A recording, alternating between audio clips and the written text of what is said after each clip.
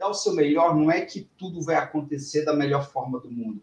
É que diante de tudo que acontece, você está fazendo o teu máximo.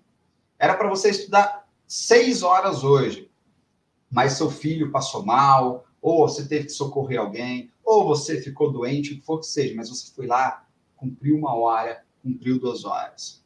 Hoje mesmo, hoje eu bati minha meta de estudo pela manhã, e aí depois eu estava bem cansado, é, que aí eu fui malhar, né? Fui malhar. Mas antes de malhar, eu falei, cara, eu tô morto hoje. Nossa, eu tô cansado. Como é que meu treino vai render hoje? E é assim que a nossa mente funciona.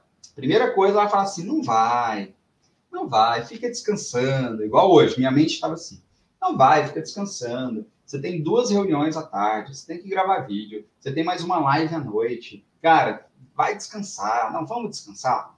Você, tá, você merece. Essa é uma das vozinhas mais malandras que a sua mente tem. Você merece descansar. Você vai ouvir isso muito, muito, muito da sua mente. Esse é um recurso maravilhoso que ela tem. Ela fala assim: você é tão esforçado, você trabalha tanto, você merece descansar. Quem aqui já teve essa conversa mental, a sua mente jogando esse caô para você? E aí, na maioria das vezes, a gente acaba né, fazendo o quê? Cedendo. E aí eu falei, não, vamos lá. Porque melhor um treino, né? Eu falo, até postei hoje uma história. Melhor você fazer um treino de qualquer jeito do que você não treinar. E foi muito bom, porque, cara, eu comecei e aí acabou. Cara, eu saí de lá a mil por hora, parece que o cansaço tinha passado, e isso acontece na hora do estudo também. Quantas vezes você, antes de estudar, atualmente fala, não, você está cansado, isso aqui não vai.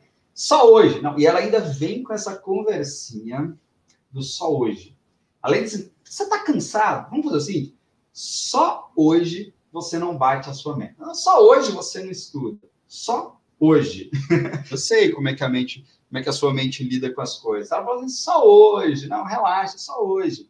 Aí amanhã ela vai vir com essa mesma conversinha. Só hoje só hoje, só hoje. Então, aqui você está aprendendo sempre a ter consciência do que está acontecendo. Você está tendo consciência do teu. Se você estuda para valer, que é inclusive um feedback. É, estudantes de alto desempenho que estão aí assistindo, coloca aí para mim.